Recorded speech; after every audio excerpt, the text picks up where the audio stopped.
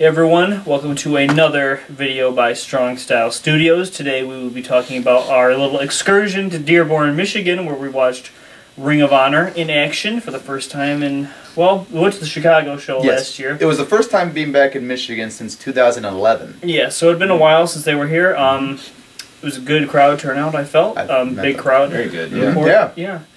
And um, overall, I thought it was a pretty good show. I had a good time. Yeah. You guys, good Had a time. great time, yeah. Nigel was there. Simon Nigel uh, was Dean, there. he's got that sign. Mm, We Got- got we got front row seats, so yes. we had yeah. good Thanks to UVA. thanks to my hookup.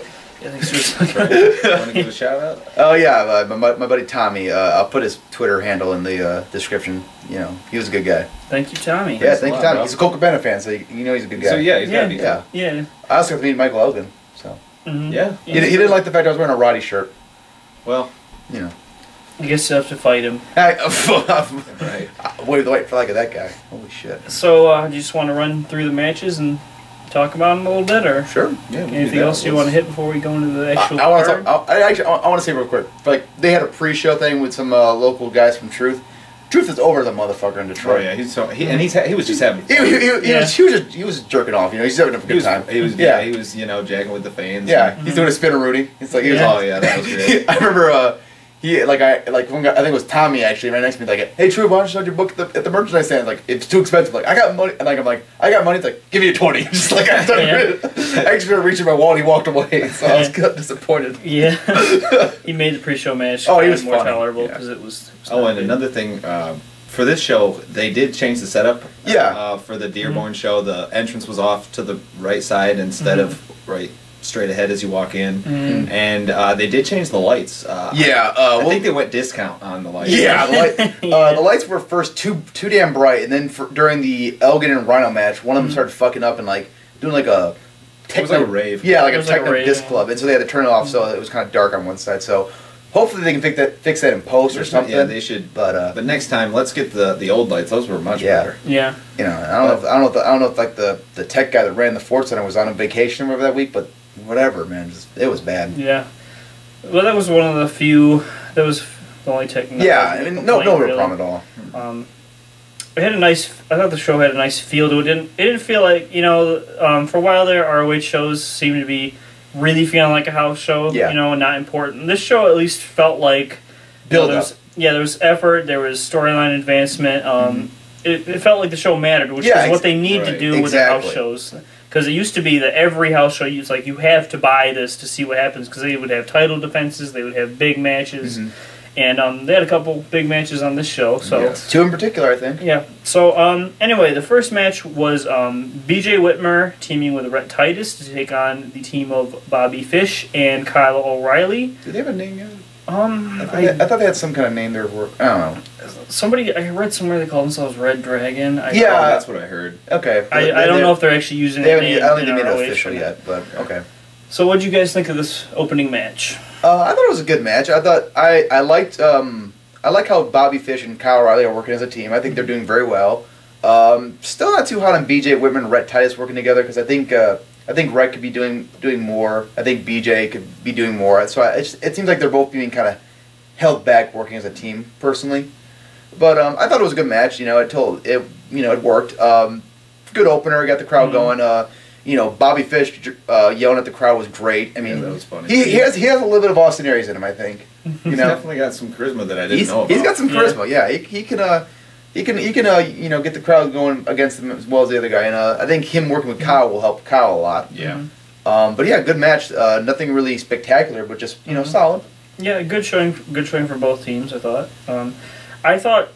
I don't want to single a guy out, but I, I just didn't think Titus has been looking that good lately. Like, um, he just seems a little off. Like, I think his injuries set him back. quite a Yeah, bit. his his, his knee Um, got it. Whit, I think Whitmer Whitmer looked good to me. Like he's um he's kind of carrying the team right now. Hopefully Titus will get back to his old self though. It's just Yeah. a matter of time. Hopefully, Right. um, I do really like this team of um, Fish and O'Reilly, and they're kind of newly formed, so they have a lot of potential. Um, I I thought this yeah I thought this was a good opener. It got me into the show. Um, delivered about what you'd expect from it. Some nice nice pace to it.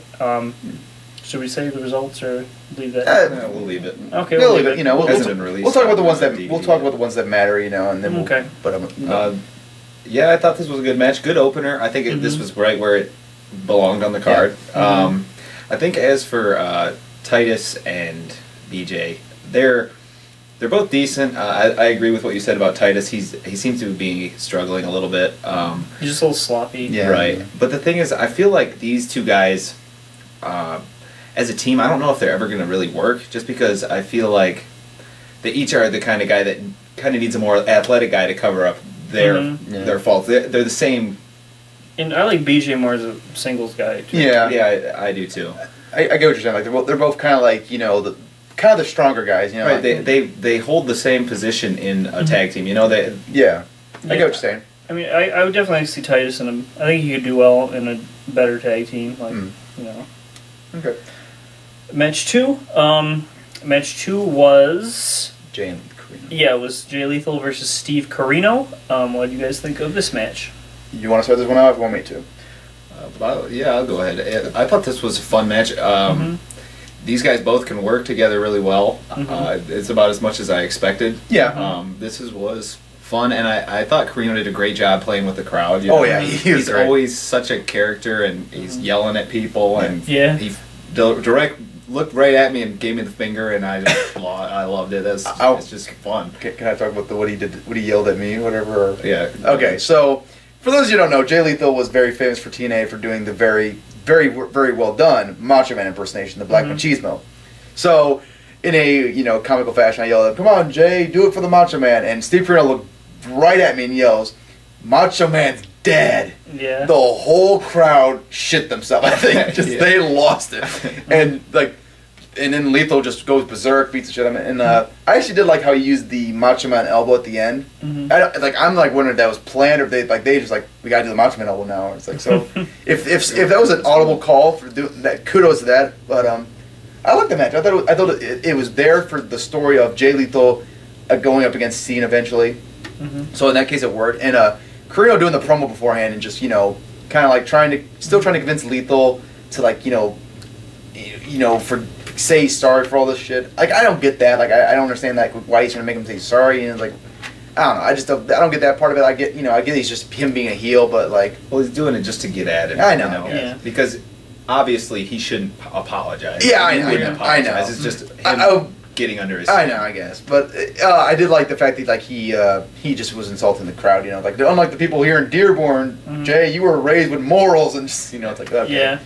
Um, yeah, I liked it. For, you know, second match, a lot of times the second match is kind of the one of the throwaway matches, but Yeah. this was solid. Um, I liked the contrast of styles. Um, you got the King of Old School versus the very athletic Jay Lethal. Mhm. Um, I thought it, they worked pretty well together. Um, Yeah. It, um, it was just kind of a solid match. I Yeah. mean, Not, it not, nothing, delivered what it, what I hoped. nothing special, but it, it built the storyline. Mhm. Good. Match number three, we saw Roderick Strong versus Silas Young. Sporting a very nice mustache. Yes. Yes, yes, he was. By the way. You Uh, guys wanna? I, I thought it was good. I thought, for, for me personally, I think Sti- Silas Young didn't get that much offense in. You know, he, Mhm. he looked good, but like he didn't he didn't really shine. I thought, except for like that that little finishing sequence at the end where he um, hit the Finlay roll into the you know the, the springboard moonsault he did, Yeah. which is cool. Uh, but you know, I think Ro- Roderick was just running running through the grinder, man. He Yeah. Roderick was chopping the shit out of his Yeah, chest. yeah. Mhm. Um, but you know, and it was kind of interesting that Roger was playing the face since he's the heel, even though. But like you know, crowd really didn't like Silas Young, and Silas Young didn't really like them. So Mhm. I don't know. Uh, I did hear his match with Adam Cole the next night was better. So hopefully, I, I, I do like Silas, Silas Young. I think he's a very very gifted wrestler, and I think he's a you know kind of different kind of wrestler. You know, he's a, he's not a he's he's not your he looks like a big man, but He's he's not your average indie guy. Yeah, For a guy exactly. he's been on the indies as long as he has. Yeah. Yeah. and I think it can bring some good to the table for ROH. So hopefully, he gets a spot. But uh, I like this match. I, th- I thought it was just you know it was just kind of there. It didn't really have uh, a purpose, Mhm. but it was just make. It, I think it was like there to make Strong look good leading into tomorrow night's match. Yeah. Yeah, I would agree with that. Uh, it was solid. Um, I don't know if Silas. He just looked a little bit off. He was a little bit Mhm. sloppy, a little bit clunky. Um, Yeah. I don't know his footwork. Maybe it was his footwork was off, but uh, I was hoping he'd have a better showing because me too. I Yeah. know he's a talented guy, and I know he's Mhm. he's been on the Indies for so long, and it, it was just unfortunate that it didn't come across and and but it was good. It was good. Yeah, it was a fun. decent match. Yeah. Well, what I thought was kind of off about the match is it seemed like he didn't at times didn't seem to have a plan of what he was going to do next, like three, four moves ahead. It was just Mhm. kind of just didn't feel like he had a Game plan. game plan, I guess. Um, but yeah, Roddy looked good as always. Um, it was just a fun, fun match. Always fun to watch Roddy chop the shit out Yeah, of right. So Rod, Roddy's Roddy, Roddy's. Ha- I, I always like when Roddy's out there having fun. You can tell Yeah. when he's, when he's Yeah. having, you know, yeah, it was more lighthearted Roddy match. So and he gave him one of the But hardest. this, I'll be honest, that's how the whole event really felt. It was really lighthearted. Everybody seemed to be having fun. Yeah, Yeah. and, well, You know. you, you just sense like the guys were just more like easygoing, like less less tense. It seemed like, Yeah. mhm. and, uh, which is and nice because it seems like ROH was too tense for a while because there's a lot of stuff going on. A lot of bullshit in the pe- background. Yeah, Right. a lot of politics So, and stuff going on. Glad to see, yeah, and it also uh, I, we forgot to mention, um, like I think I think just having Kevin Kelly and Nigel out there for doing commentary really helped too. That's Like, gonna help. Yeah, because you know I, I think like I think that helped make it just feel more lighthearted and like you know and like they were Mhm. out there having a good time. Okay, next we had for the ROH World Championship, we had um, Tadarius Thomas, Dearborn's own. I think he's actually from Detroit, He's but from Detroit. tonight he was billed. That night he was billed from Dearborn, taking on Mr. Wrestling Kevin Steen. Um, what do you guys think of this? Um, it was good. I mean, Steen was very entertaining. Oh, I'll give yes. that. Um, when you when this match came out at this point in the card, Yeah. you know, it, Mhm. everyone knew who was going to win.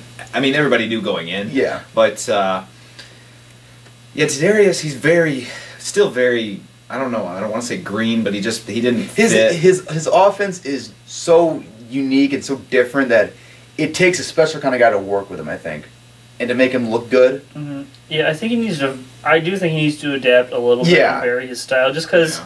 his style is all like kicks that come out of nowhere, kind of, and it's just like It, it, not it, really it, it realistic. look- Right, How is he going to dominate matches? Yeah. That's Yeah. what I wonder. So I mean, it made for a lot of like cool, like quick little spots within the match. Like Yeah. he'd get a quick kick in on Steen, and Steen would sell it pretty well. So it'd be Mm-hmm. like you you start to think maybe like you know he's com- being competitive, but Steen definitely controlled the Oh, yeah. match. And Although um, Tadarius hitting the Tiger Driver on Steen, that was pretty cool. yeah, Yeah, or was that it was the Tiger suplex? Sorry, Tiger suplex. Mm. Yeah, Um, but- impressive. Steen was definitely the highlight of this match. Like he was just having Mhm. so much fun out there. He was ribbing on him. What did he call his uh, his fighting style? The capybara, whatever.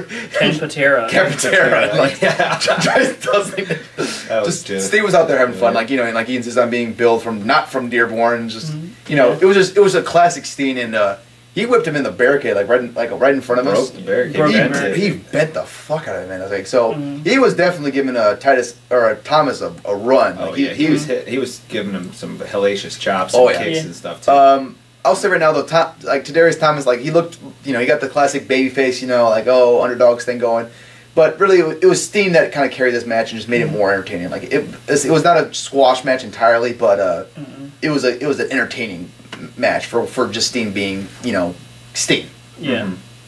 So then we had intermission, and we got back from intermission, and we were welcomed by um, two very skinny-looking Tiny. Two, gentlemen. two guys that looked like One of they them was had billed at 110, I think, and I was like, "That's ungodly skinny for two, two guys that a looked grown like man." that would make Kel, uh, Machine Gun Kelly look like a fucking muscle builder. Yeah.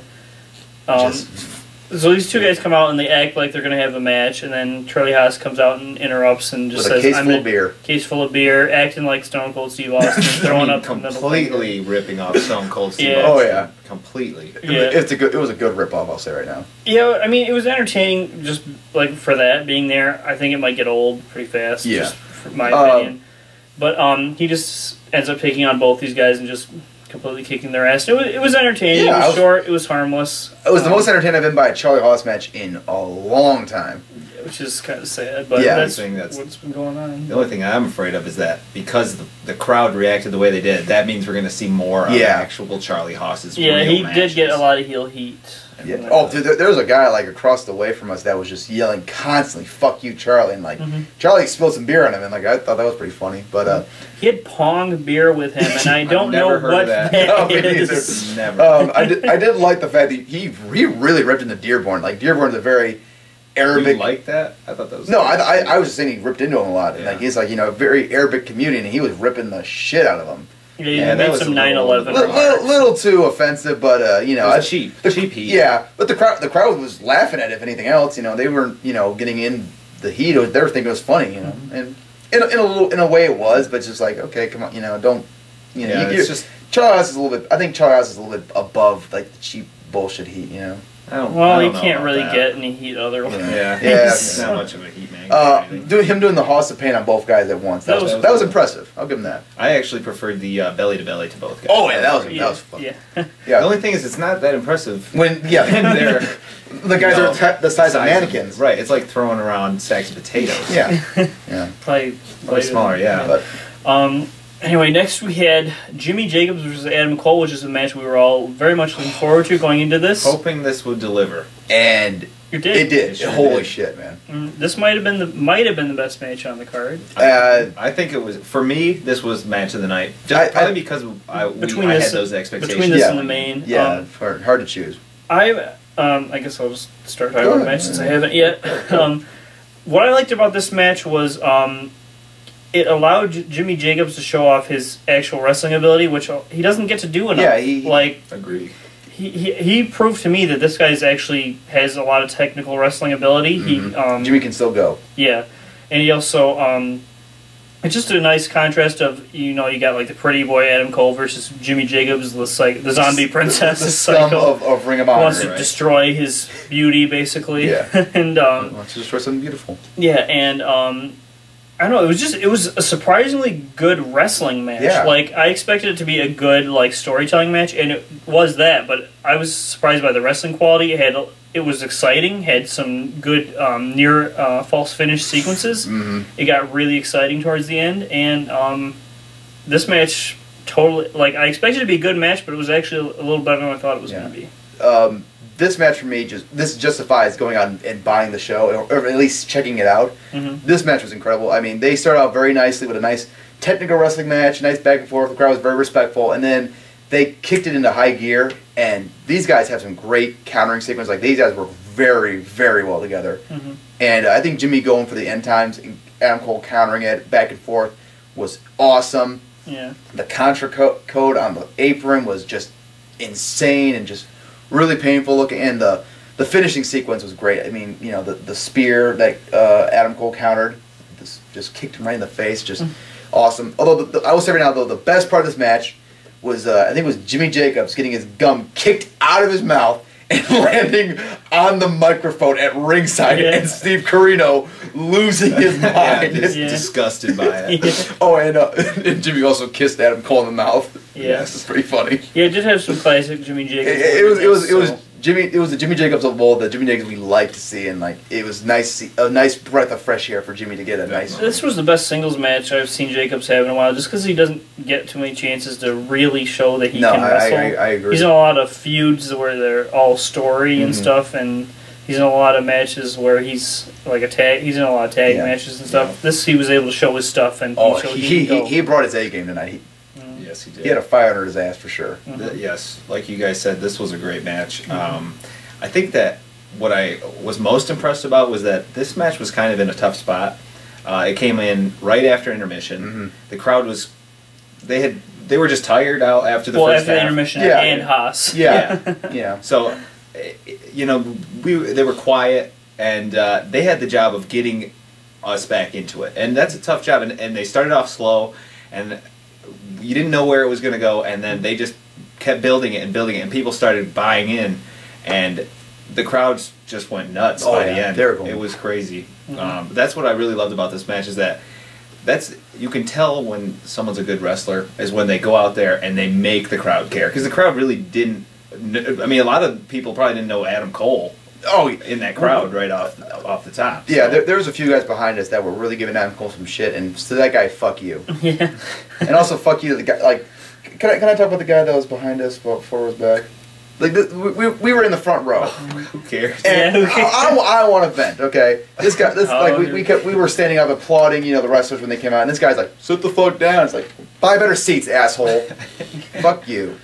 Yeah, whoever that guy is, who yeah. Yeah. I'm sure he's watching out there. I hope so. Fuck you. There. All right. Our, ch- our channel, I'll do whatever the fuck I want. All right. Next, next we had the rhinoceros. No, we had Rhino versus Michael Elgin, a battle of two guys who were just about Two- exactly the same size. Two Yes. monsters, man. Very strong guys. Low center of gravity. Both. Yes. Yeah. Uh, Rhino was over as hell here. Because, yes, he was. Yeah, Yeah. I have like I have never seen Rhino this over. I didn't expect it. I No. mean, I know he's from Detroit and he's from Dearborn. Yeah, but- apparently he's he, like he's a big uh, like a lot of the local promotions. He's like the champion. Like he's like a lot of people go out to see just him.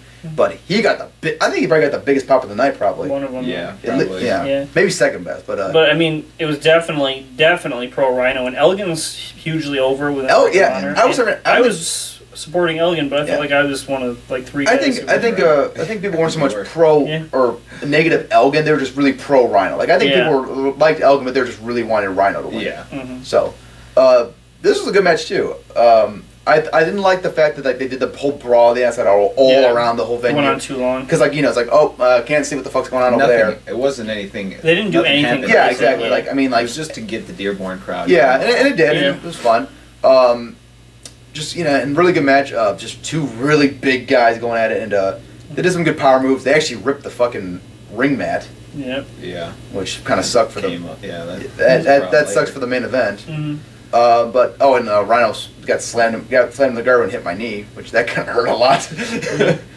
but uh, good match. Uh, did a good job of uh, making Elgin look like a tough guy, which he really is, and uh, Yeah. you know, so kudos to that. So It's a good Um, bigger guy match. Yeah. Which As for me, I I thought this was probably the worst match on the card. Um, I actually think so too.